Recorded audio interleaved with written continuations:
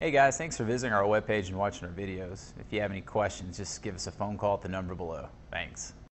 Stop by and take a look at the 2019 Ranger. Tough inside and out, Ranger proves its metal and is priced below $35,000. This vehicle has less than 100 miles.